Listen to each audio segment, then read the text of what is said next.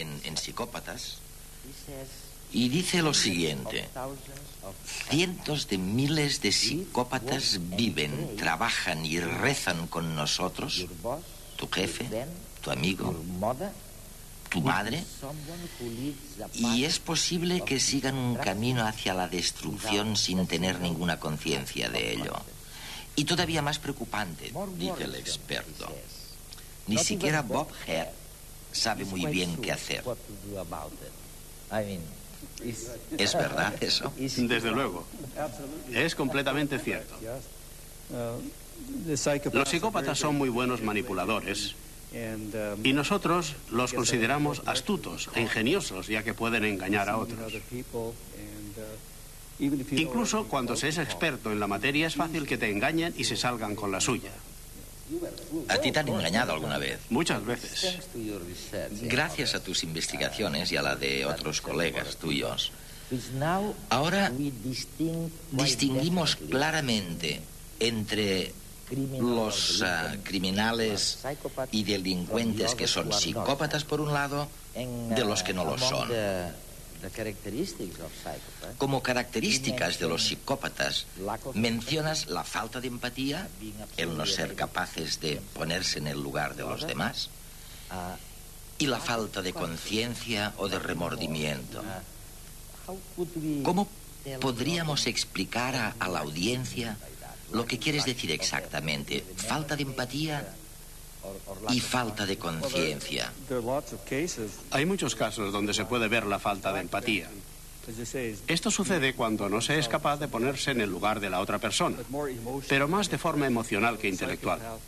Es decir, que un psicópata puede entrar en tu cerebro e intentar imaginarse lo que tú piensas, sin embargo nunca podrá comprender cómo te sientes. Un ejemplo similar es intentar explicarle los colores a un daltónico. ¿Cómo se puede explicar la empatía y las emociones a un psicópata? Un psicópata puede llegar a relacionarse social o intelectualmente, pero ven y tratan a las personas como objetos. Es muy difícil de explicarlo, ya que la gente cree que todos, como seres humanos que somos, debemos pensar y sentir de la misma manera, y no es así.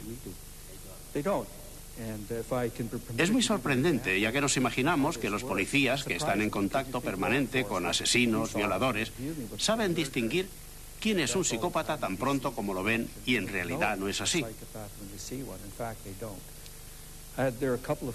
Hay un caso en Estados Unidos en el que un hombre era sospechoso de haber matado a ocho mujeres.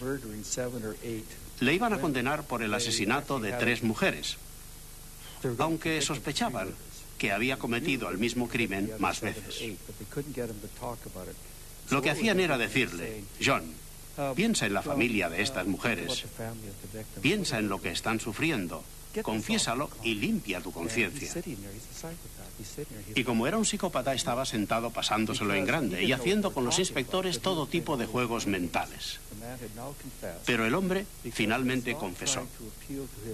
Y lo hizo porque dejaron de apelar a su sentido de lo bueno y lo malo, ya que no lo tenía, o a su sentido de conciencia, que tampoco tenía, ni a su sentido de la empatía, que era irrisorio y empezaron a apelar a su sentido de la grandiosidad. Es decir, que empezaron a contarle que otro asesino en serie había matado a 30 o 35 personas y que él solo había matado a tres. Pero si conseguía siete más, ya tendría diez y que esto haría que subiera de categoría. Y acabó confesando. Bob, hay una cosa terrible en lo que dices. No puedo decir que he disfrutado leyendo tus libros. Ah, son buenísimos, mm, pero Dios mío, mm, lo he pasado bastante mal. ¿eh? El hecho de que aunque digamos que no son de nacimiento, ah, pero se desarrolla la psicopatía muy pronto en la vida. Quiero decir que la psicopatía no es algo que se desarrolla en la adolescencia o más tarde, cuando uno tiene 30 años, sino que aparece ya desde los 3 o de los 5 años. Y lo que todavía es más angustioso es que dices que tiene muy poco que ver con el tipo de familia en el que uno ha vivido. Creo que para la mayoría de personas el entorno en el que crecen les influye mucho.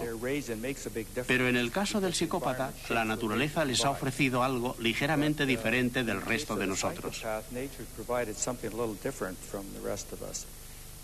Y parece ser que las fuerzas normales de socialización que moldean nuestra personalidad, de ser más sociales y de llegar a ser mejores ciudadanos, no funcionan con un psicópata. La cuestión es por qué no. Ya que un psicópata puede venir de cualquier familia, buena o mala. ¿Es exclusivamente un problema de genética? No. ¿Es un problema del entorno? No. Debe haber una interacción y el papel que juegan y cómo contribuyen esos dos elementos todavía está por explicar. Pero una cosa que puedo decir es que el psicópata, una persona que desde muy pronto tiene unas características personales como son la falta de miedo o la falta de ansiedad, el gusto por una vida fácil y la tendencia a ser impulsivo. Estos individuos no pueden ser inhibidos o formados por el entorno de la misma manera que lo serán las personas normales.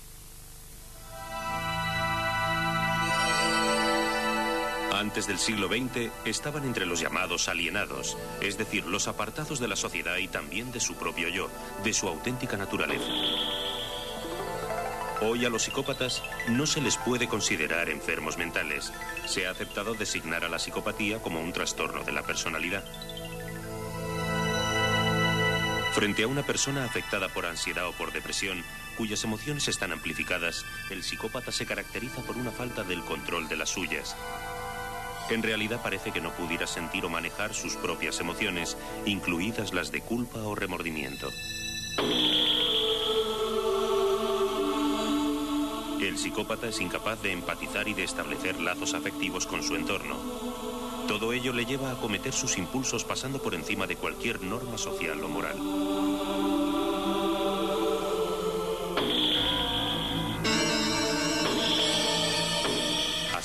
Muchos de los asesinos en serie son psicópatas.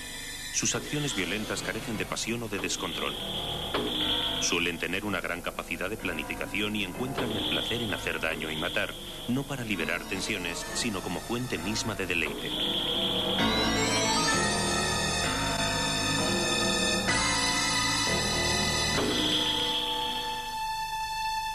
Pero no necesariamente la psicopatía ha de llevar hasta el asesinato. La inmensa mayoría de veces el trastorno se manifiesta en la manipulación y el engaño hacia las personas que rodean al perturbado para obtener sus objetivos económicos, sexuales o de poder. Le es muy fácil para conseguirlo fingir que tiene emociones y que comprende a los demás.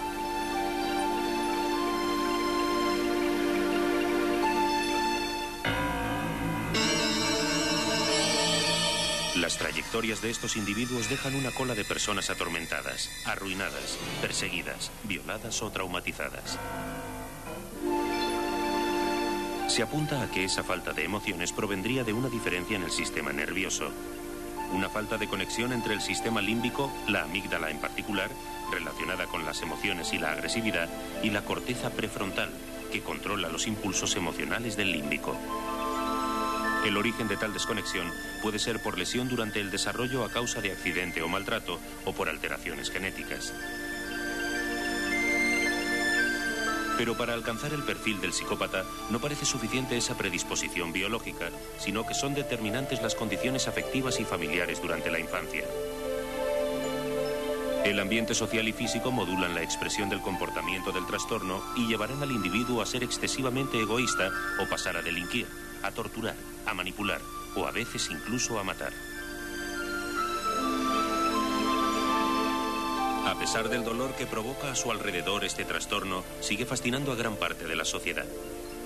Muchos encuentran un cierto placer en oír y ver acerca de la vida de los psicópatas, de sus conductas, y es fácil pensar que hay algo de ellos en cada uno de nosotros.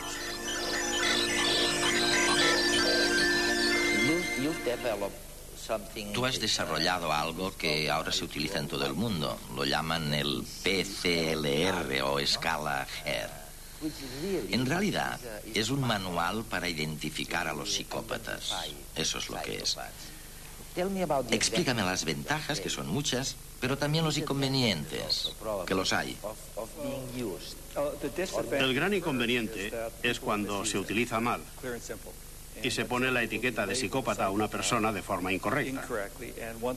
Y si esto pasa a formar parte del historial criminal, la persona está condenada de por vida. Se tiene demasiadas connotaciones y significados negativos. En el lado positivo es, si suponemos que yo soy tu médico y creo que tienes la presión alta, y te digo, creo que tienes la presión alta. Entonces me preguntarás, ¿esto es todo lo que puedes hacer? Entonces te toco la frente y el pulso y me vuelves a preguntar, ¿y no puedes hacer algo más? Entonces saco el manómetro y lo tomo. Este aparato ofrece ventajas, ¿no? Pues es lo mismo que yo he hecho con mi test. El PCLR es un instrumento que he creado para hacer todo lo objetivamente posible el diagnóstico de la psicopatía. Y si aplicáramos la escala HER en todo el mundo, llegaríamos probablemente a la cifra de 1% de la población total que padece psicopatía. El mismo índice que el de esquizofrenia, o incluso más, ¿no? De esto es lo que estamos hablando. Es muchísimo. Ah, en Estados Unidos eso quiere decir dos millones de personas.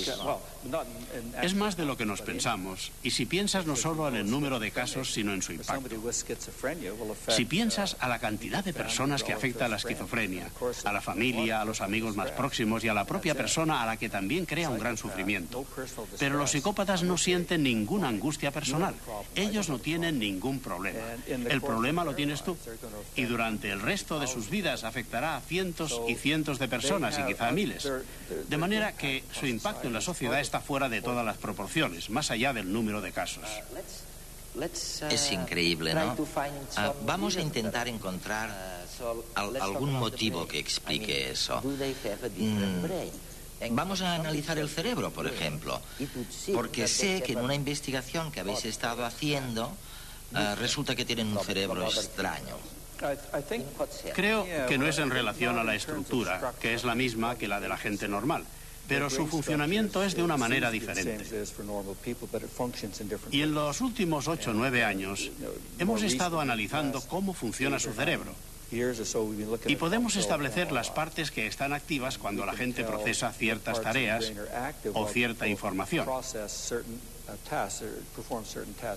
Uno de los hallazgos más significativos es que mientras un psicópata intenta analizar algo que contiene una carga emocional, ya sean fotos o palabras, las partes del cerebro que se activan no son las mismas que la que se activa en la mayoría de personas. Lo que estás diciendo es que si le mencionas a un psicópata una emoción negativa como la violación, Parece ser que las áreas del cerebro que procesan este material son distintas a las de los demás. En efecto, y de hecho lo que sucede es que si a un psicópata le mostramos la palabra violación en la pantalla del ordenador, la trata como una palabra neutra, como las palabras mesa, silla o árbol. Parece ser que hay muy poca diferencia en la forma que responden o en las partes del cerebro que se activan. Esto es muy curioso. ¿Por qué es así? Tenemos los resultados de varios experimentos en los que enseñamos imágenes muy desagradables, como escenas de crimen, y las tratan a nivel de funcionamiento del cerebro como si estuvieran mirando algo normal y corriente, como a un perrito o a un árbol. También hemos descubierto que hay partes del cerebro que no activan, y son las partes del cerebro asociadas al procesamiento de emociones, el sistema límbico, el cerebro emocional, como se le llama popularmente. O sea, lo analizan lingüísticamente, no emocionalmente.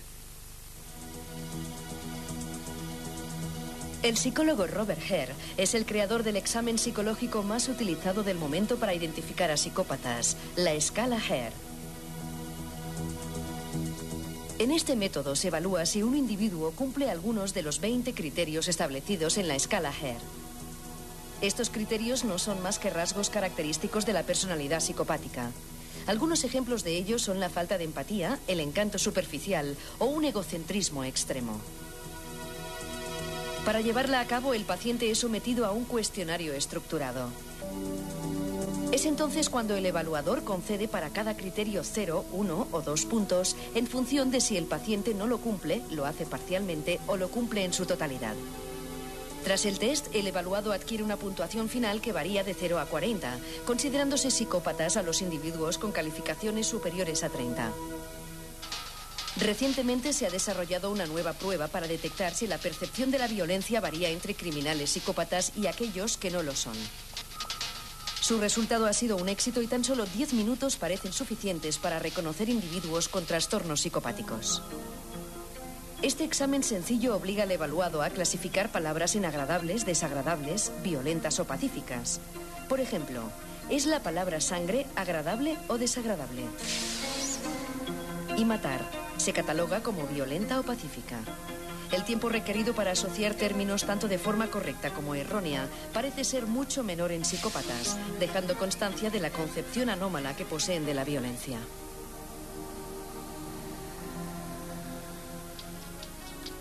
Nuevas técnicas en el campo de la visualización cerebral como la resonancia magnética han permitido relacionar la conducta psicopática con defectos biológicos. Así, la corteza prefrontal, vital para gestionar los impulsos, presenta una reducida actividad. Neurotransmisores inhibidores de la conducta agresiva, como la serotonina, también parecen escasear en el cerebro del psicópata. En definitiva, los últimos avances en psicología y técnicas de imagen cerebral han facilitado la diagnosis de la psicopatía. El reto ahora consistirá en la cura y la reinserción de los que la padecen.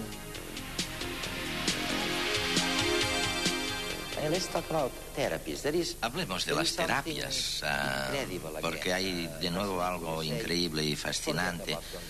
Tú dices que nos olvidemos de los programas de rehabilitación para estas personas, porque muy probablemente funcionan al revés. Ah, esta gente aprende cómo engañar. De manera que lo mejor es, ah, bueno, no utilizar los programas convencionales de rehabilitación. Oye, ¿cómo les decimos esto a los jueces y a los encargados ah, de custodiarlos en las cárceles y a los profesores que hablan y enseñan de estos temas? Tienes razón. Los programas tradicionales de rehabilitación ayudan muy poco a los delincuentes psicópatas. Y existen estudios que demuestran que delincuentes que siguieron estos programas acabaron cometiendo crímenes más graves que si no se hubieran tratado. No es que el programa empeorara la situación, es que el programa no era el adecuado y todo lo que hicieron es aprender nuevas formas de manipular a las personas. Pero no quiero que tú o la audiencia tengan la impresión de que no hay nada que se pueda hacer, porque hay varios países como Nueva Zelanda, el Reino Unido y Canadá, donde están trabajando con programas diseñados específicamente para estos individuos. Uno de mis colegas y yo estamos trabajando en un nuevo programa que apela no a su sentido de la conciencia o su falta de empatía, sino que se basa en el comportamiento, sus maneras. Queremos cambiar el comportamiento.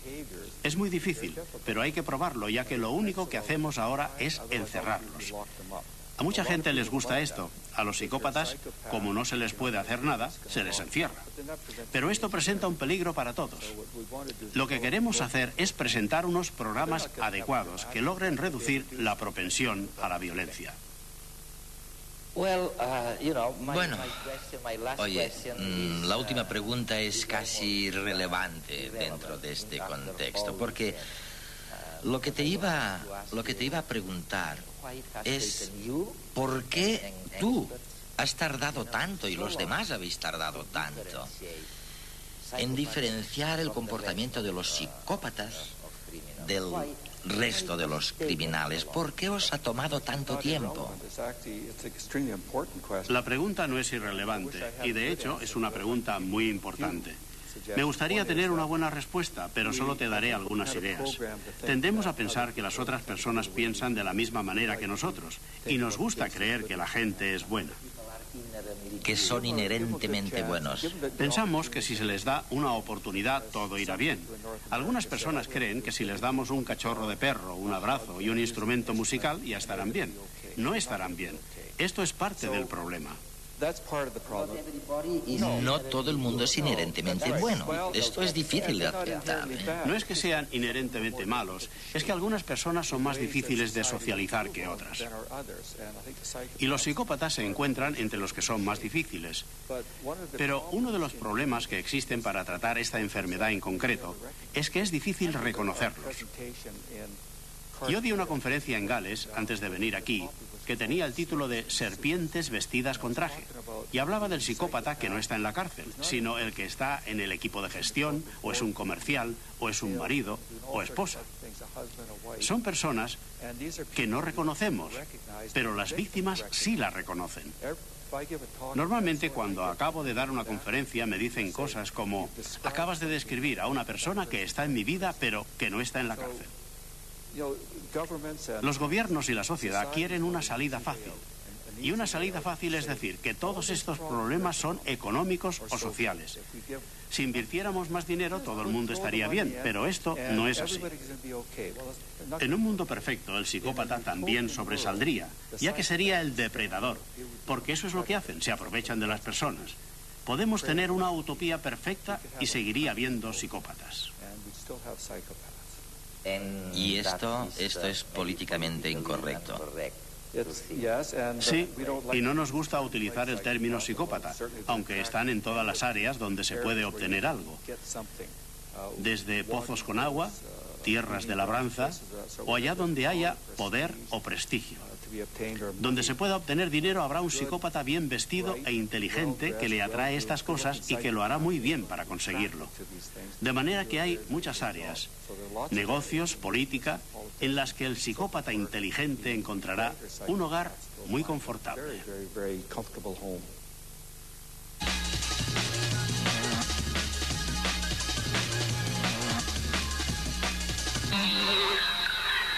Las mujeres tienen más corazón que los hombres. En realidad, lo que han constatado los cardiólogos del Hospital Gregorio Marañón de Madrid es que el corazón femenino es más resistente y más potente que el masculino. La principal conclusión es que el corazón femenino cicatriza mejor, tiene mayor capacidad de contracción y registra menos arritmias ventriculares que el masculino. En el caso en que hombres y mujeres tienen idéntico pronóstico de insuficiencia cardíaca, las féminas presentan menores tasas de mortalidad que los varones. Se trata del primer estudio en que se han analizado parámetros cardíacos teniendo en cuenta el sexo de los enfermos. Hasta el momento, la mayoría de investigaciones se habían realizado básicamente sobre una población masculina. A juicio de estos expertos, la causa de la mejor preparación del corazón femenino podría radicar en el embarazo, etapa en la que el músculo cardíaco debe realizar un trabajo suplementario importante. Diseño y reciclaje se unen para crear objetos y utensilios de última generación. Su principal ventaja es que son prácticos y cómodos, pero sobre todo respetuosos con el medio ambiente. Los productos sostenibles se están convirtiendo en una tendencia en alza. La idea es reaprovechar de forma útil todos los desechos que genera la sociedad de consumo y tras un proceso de reciclado acaban convirtiéndose en otros objetos totalmente diferentes. Por ejemplo, en Gran Bretaña se está diseñando una gama de material escolar construida a partir de vasos de plástico ya utilizados. También existen sofás hechos a partir de un componente que imita la madera y tejas fabricadas con latas de aluminio prensadas. Y es que en un futuro inmediato aparecerán productos procedentes de materiales de desecho que tras aplicarles tecnología de última generación se convertirán en bienes de consumo imprescindibles. Está claro que después de nacer, la experiencia va moldeando la arquitectura del cerebro. En la Universidad de California han identificado un gen que juega un papel esencial en el desarrollo cerebral y en los procesos de aprendizaje. El descubrimiento aportará información muy valiosa sobre los desórdenes del aprendizaje. La estructura de las neuronas se modifica mientras vamos aprendiendo y se van creando nuevas conexiones. Los neurocientíficos creen que estos cambios se inician cuando las neuronas se activan, haciendo que los iones de calcio fluyan hacia el interior de las células. El gen descubierto, bautizado como CREST, interviene a la hora de responder ante el calcio. Las neuronas que no tienen el gen CREST no se bifurcan ni crean dendritas cuando son estimuladas por el calcio. La proteína que se fabrica gracias a este gen se produce en varias regiones del cerebro tras el nacimiento y en los adultos se encuentra en el hipocampo, zona que juega un papel esencial en los procesos de aprendizaje y la memoria.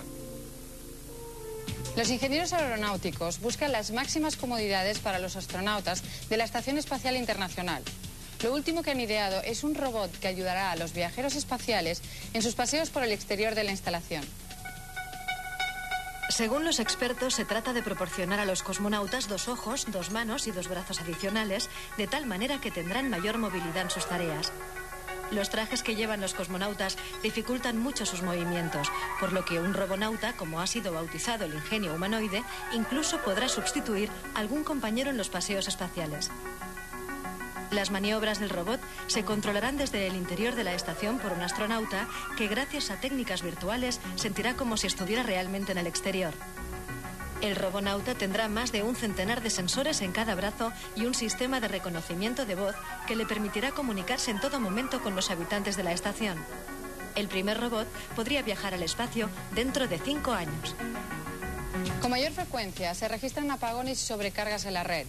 Para solventar estas situaciones de emergencia, se ha patentado un aparato que controla de forma automática las fluctuaciones en la red eléctrica. Son chips inteligentes que se incorporarán en los enchufes y realizarán un seguimiento de las fluctuaciones de la red eléctrica. El chip, al detectar cambios de potencia, desconectará automáticamente ciertos aparatos domésticos para que se estabilice la red y evitará apagones masivos. En general, las redes no están diseñadas para gestionar la carga que en estos momentos están soportando, por lo que en breve se tendrá que mejorar la arquitectura para amoldarse a la nueva demanda y hacerla más potente. La falta de suministro es uno de los principales problemas que afrontan grandes ciudades y localidades con muchos turistas. Se espera que en dos años, en España, se pondrá a punto un sistema de distribución eléctrica totalmente actualizado.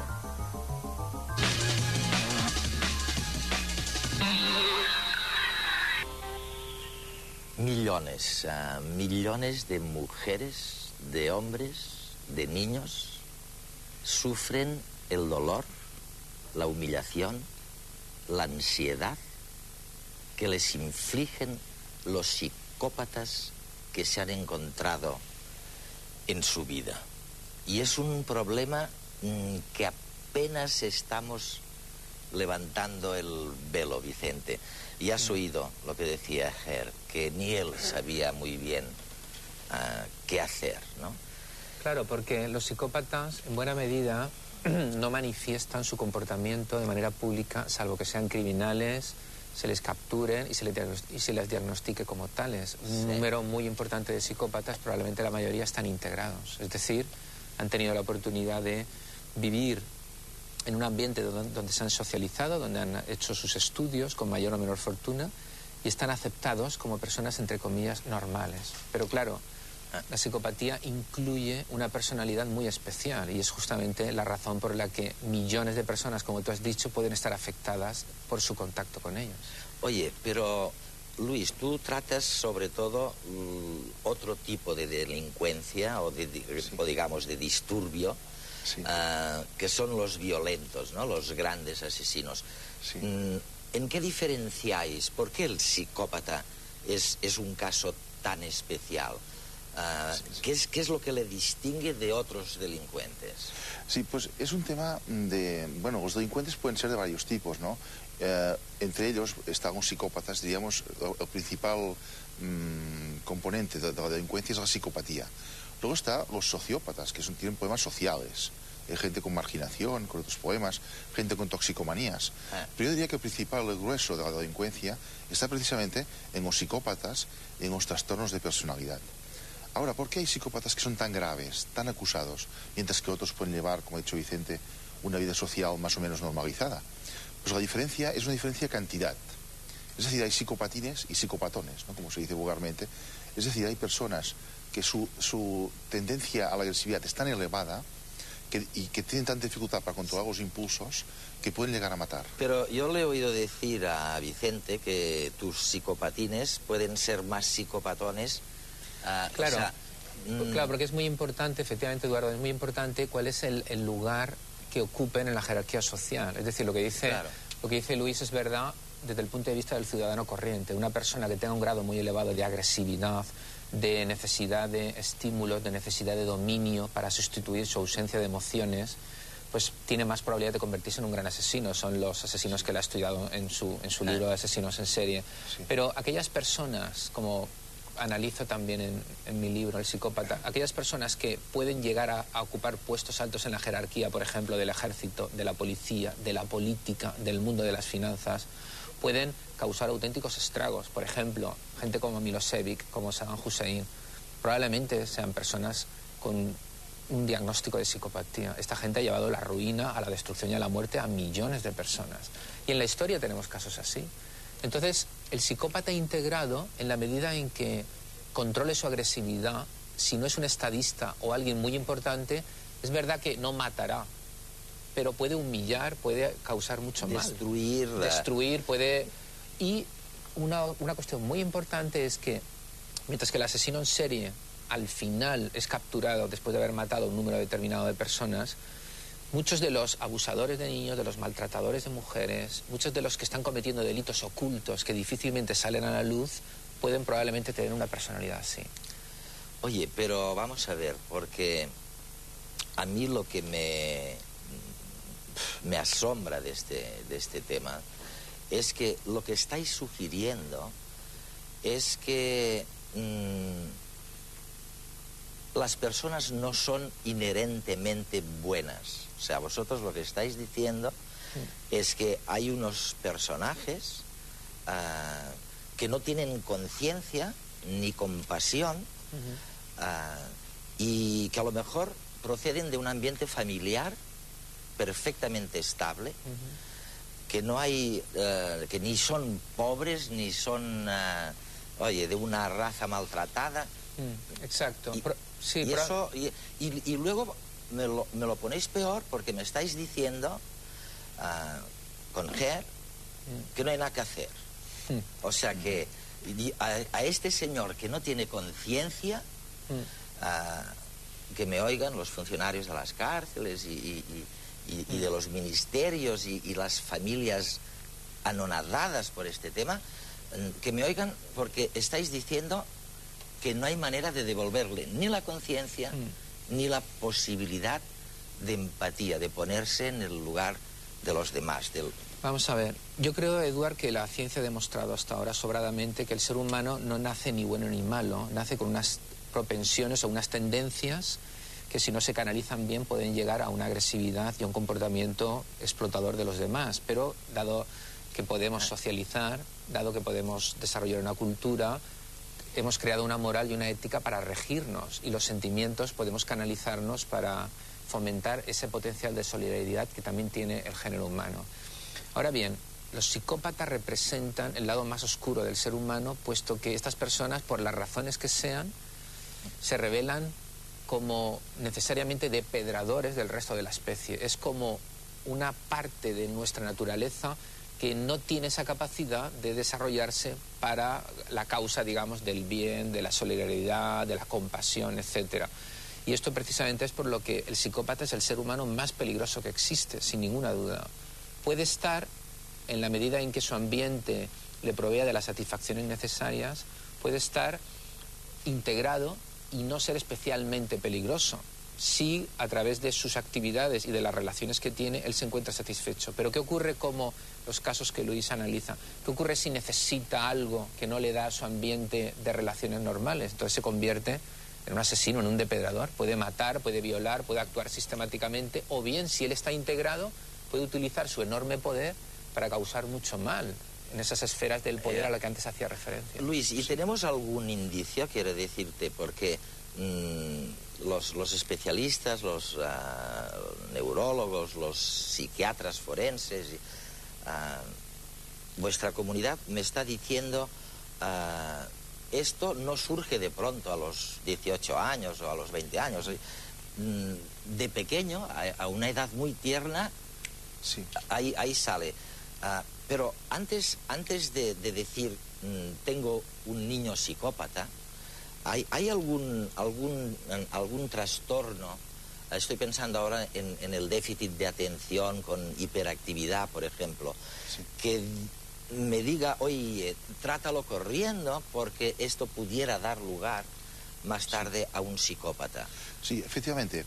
Eh, se ve que ya desde la tierna infancia que un niño puede ser psicópata hay unos indicadores de riesgo. Unas de, o factores de riesgo que pueden llevar a una persona luego a ser agresiva y conflictiva.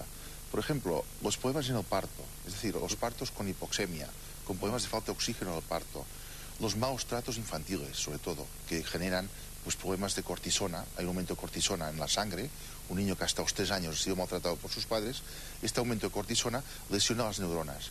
Y este, este niño seguramente tiene más dificultad para controlar los impulsos cuando sea mayor.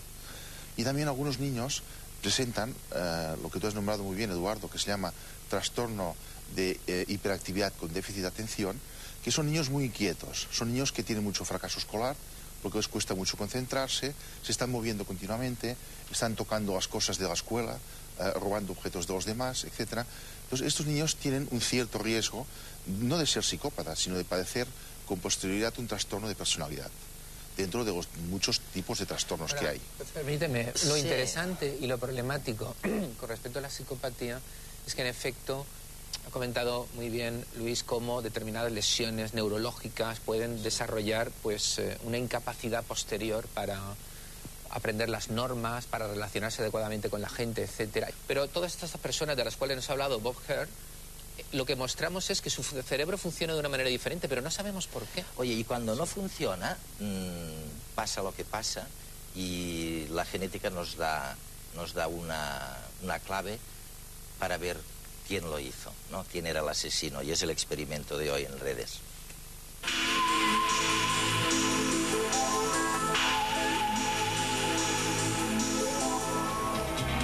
Desde los guisantes de Mendel, la genética ha evolucionado no solo para conocer los fundamentos de la herencia, sino porque puede establecer con precisión la identidad de una persona. Tanto es así que no se concibe ya la investigación criminal sin la genética forense. Gracias a los adelantos de la biología molecular, cuando en el escenario de un crimen se encuentran restos biológicos, como pueden ser sangre, semen, cabellos, se puede determinar si pertenecen o no a un sospechoso por comparación de fragmentos de ADN. Estamos en el Instituto Nacional de Toxicología de Barcelona para estudiar el caso hipotético de una reyerta. Hemos recibido en el laboratorio una serie de muestras manchadas de sangre que pertenecen a, una determinada persona pretendemos determinar si los restos de sangre que aparecen en esas prendas son de una determinada víctima relacionada con el asunto. Para ello eh, procedemos a lo que es la extracción del ADN que se encuentra en esas manchas de sangre. Este proceso tiene por objeto fundamental liberar el ADN de esas manchas de sangre. Posteriormente, una vez que tenemos ese ADN liberado, lo que intentamos es amplificar, multiplicar ese ADN. Esto es fundamental porque la mayor parte de las muestras en el laboratorio forense vienen una cantidad de ADN muy pequeñas. Por lo tanto, necesitamos multiplicar, amplificar ese ADN.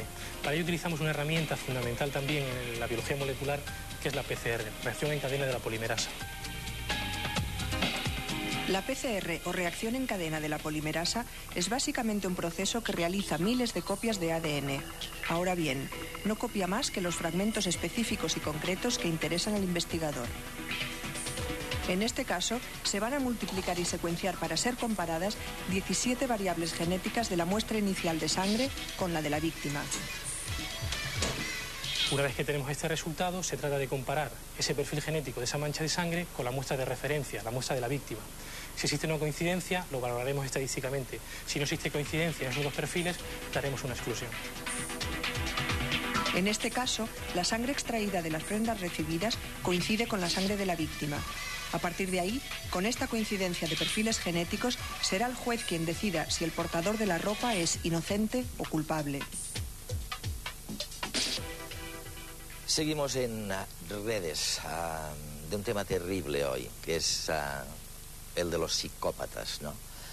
Y no hemos tocado todavía un, tema mm, angustioso que es ah, qué pasa en, los tribunales con, con unos personajes que, mm, como decía Vicente, no está claro que tengan una lesión que les haga, mm, vamos, que explique su, comportamiento.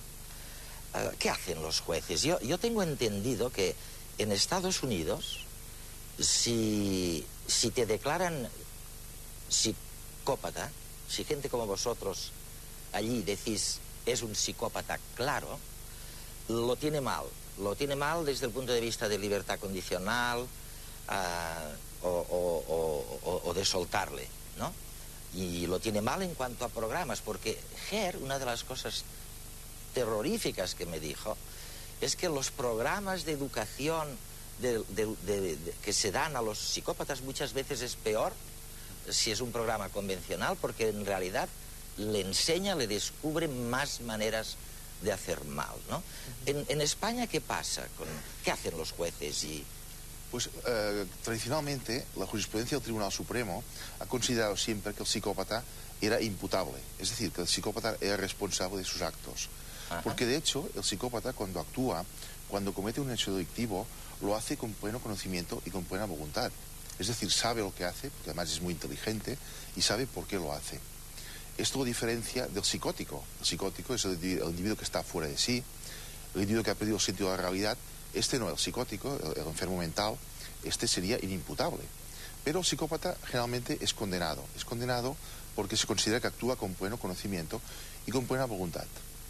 Ahora bien, los jueces, por supuesto que saben que los psicópatas son enfermos. Lo saben y, muchas veces y hay alguna sentencia que considera que el psicópata se le aplica lo que se llama atenuante analógica, que es una pequeña atenuante, que baja muy poquito la pena, pero permite aplicar lo que se llama una medida de seguridad. Es decir, permite considerar que este psicópata es susceptible de un tratamiento y por tanto pues se puede hacer algo con esta persona. Oye, con tus asesinos en serie, algunos de los cuales son psicópatas, no todos, mm. ah, ni, mucho menos, mm, ¿Recuerdas el caso de uno que era psicópata? O vamos, o que vosotros declararíais es un psicópata. ¿Y qué le pasó por ser psicópata? Sí, sí, sí. Por ejemplo, pues un, psicópata puro de, de, este libro pues sería un individuo que mató, por ejemplo, al dueño del local donde tenía un negocio para no tener que pagar el, el dinero. Después mató, al cabo de un tiempo, mató a un inspector del trabajo porque le reclamaban las nóminas de la seguridad social. Eh, poco después mató a su pareja, él la tiró desde un balcón, simulando un suicidio, pues porque no le interesaba salir más con esta chica. Es decir, el psicópata cuando mata lo hace simplemente para conseguir un bien lucrativo. Lo hace por egocentrismo. ¿Y el juez qué hizo? o los tribunales? Quiero decirte, lo, consideraron un atenuante, un agravante, el que era psicópata, no lo dejaron... Este caso fue un caso muy atípico porque no sé, mm, las pruebas no estaban bien hechas, hay que repetir el juicio, pero luego murió, este individuo murió porque fue asesinado después el, el propio psicópata, pero en general los jueces los condenan. Claro, lo condenan, pero es, es una forma, la condena es para proteger a la sociedad. Porque claro, si nosotros, por ejemplo, fuéramos a la cárcel y consideráramos a los psicópatas enfermos, y abriéramos las puertas de la cárcel, entonces se generaría una gran inseguridad ciudadana. Mm. Y entonces, como forma de protección de la sociedad, los jueces lo único remedio que tienen es eh, pues considerar imputables a los psicópatas. El concepto de enfermedad es un concepto un poco complejo porque la cuestión con, con el psicópata no es que, a diferencia del psicótico, por ejemplo, un esquizofrénico, él pierde contacto con la realidad. Es decir, él es plenamente consciente de lo que hace, él quiere hacer lo que sus actos eh, demuestran, solo que no le importa. Es decir, así como una persona con una esquizofrenia, una psicosis, pierde su sentido de la realidad y por consiguiente la, diferencia entre el bien y el mal de algún modo desaparece, el psicópata, sin embargo, es plenamente consciente, sabe que lo que está ah. haciendo es un delito, que es, que es moralmente equivocado, pero eso a él no le importa, no le concierne. Entonces, claro, el concepto de enfermedad tradicionalmente se entiende como aquella persona que es, eh, digamos, incapaz de ser de controlar y de ser consciente de sus actos. Y en el psicópata, sin embargo, lo es. Bueno, y los hay, y los hay que son o han sido muy famosos, psicópatas famosos. En el siglo XV, el príncipe rumano Vlad el Emparador, origen del personaje literario de Drácula, empaló a 100.000 personas en seis años. Enemigos turcos, adversarios políticos o simples súbditos cuya conducta desaprobaba. Esta gran impunidad de la que disfrutaban los nobles permitió a la condesa húngara Elizabeth Bathory torturar y asesinar a 650 muchachas, en cuya sangre se bañaba para conservar su juventud. Como Vlad, Bathory era una verdadera psicópata, incapaz de sentir remordimientos ante su conducta. Ambos alimentaron la leyenda de los vampiros.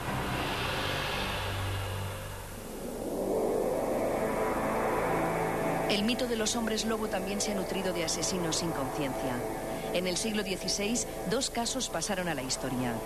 Gil Garnier y Peter Stube asaltaron a niños por los caminos de Francia y Alemania y los devoraban. Uno de ellos incluso llegó a matar a su propio hijo y comerse su cerebro.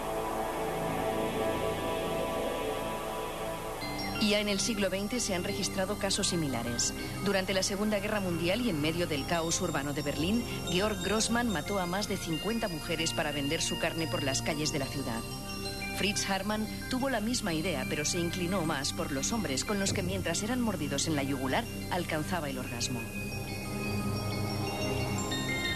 Pero no todos los asesinos múltiples han sido tan sangrientos. Las mujeres suelen ser más refinadas. Existen numerosos casos de criadas y enfermeras aficionadas al veneno, capaces de asesinar a familias enteras bien por quedarse con sus posesiones o por el misterioso placer de matar. Algunas incluso llegaron a acabar con sus propios hijos para cobrar sus seguros.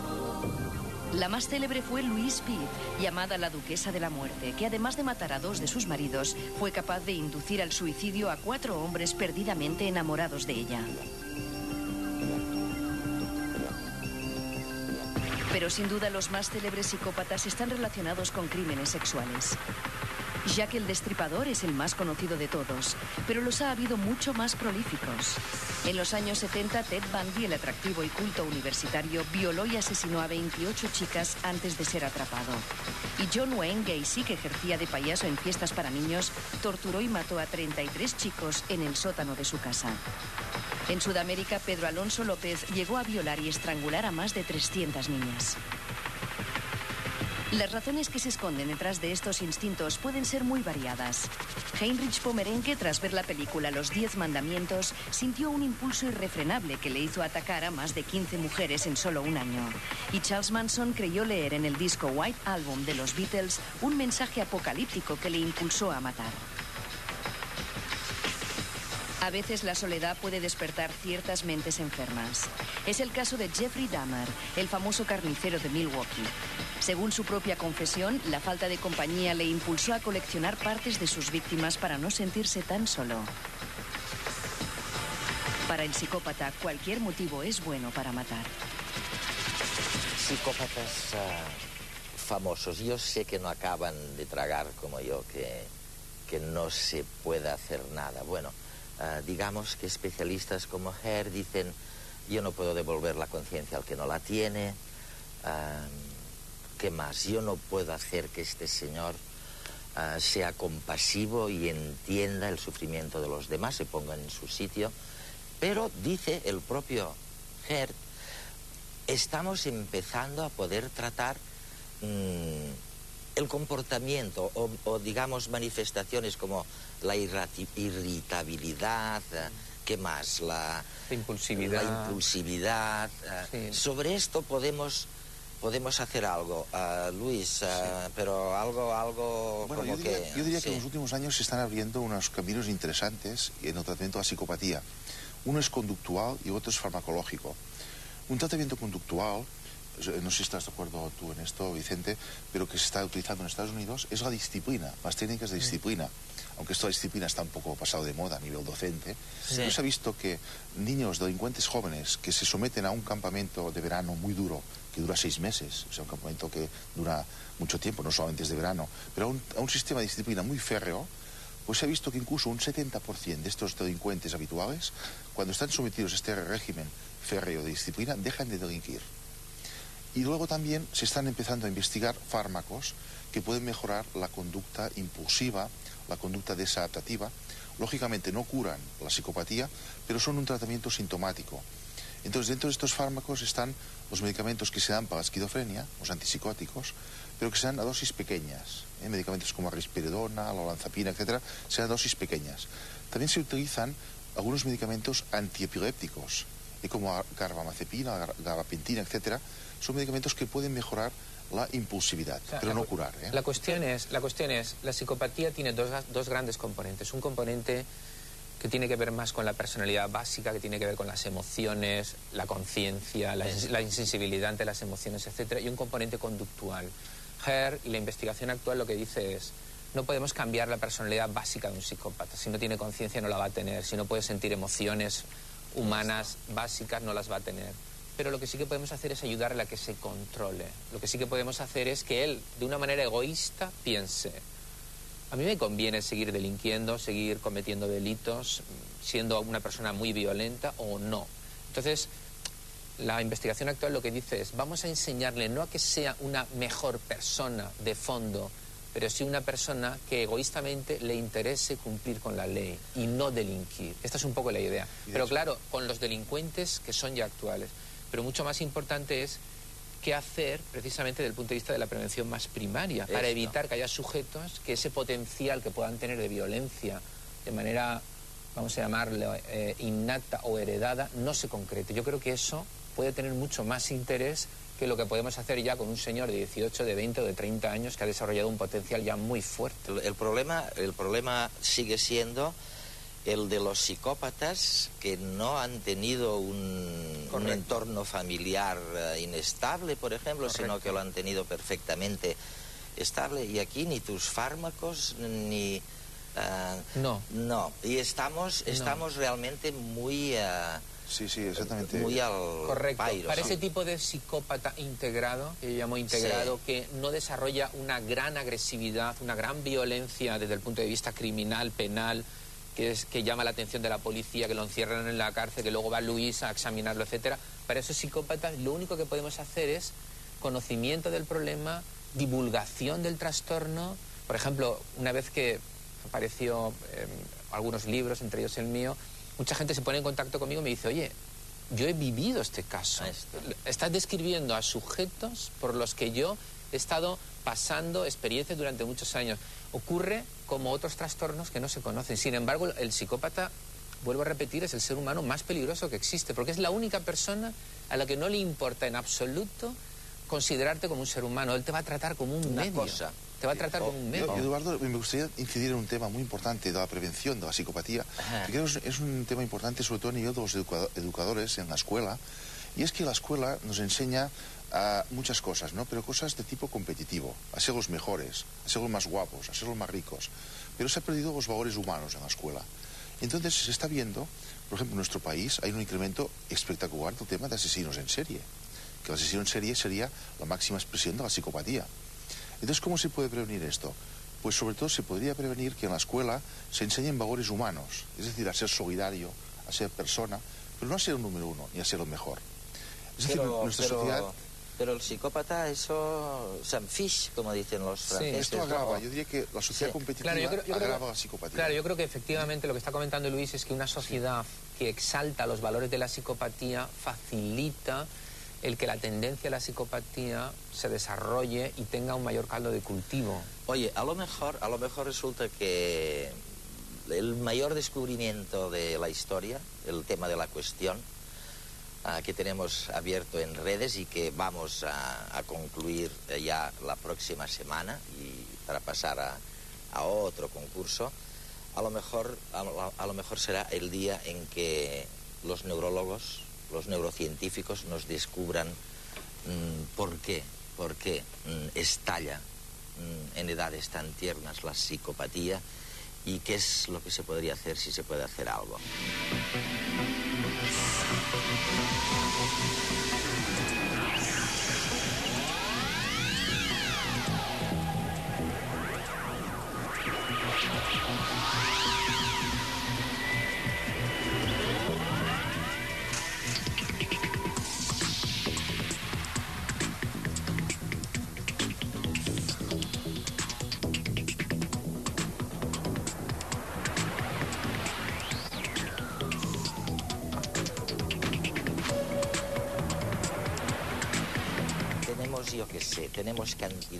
de, propuestas, nos damos de tiempo esta semana y la siguiente para que personas como Sergio García Villamor, ah, de donde es, ah, de Vitoria, ah, que nos explica muy bien, razonado, por qué el fuego fue uno de los grandes inventos. Pero les dejamos una semana de plazo para que nos sigan mandando sus ah, maravillosas ideas sobre cuál ha sido el mayor invento de la evolución de la especie humana. Y con esto les dejamos hasta la próxima semana.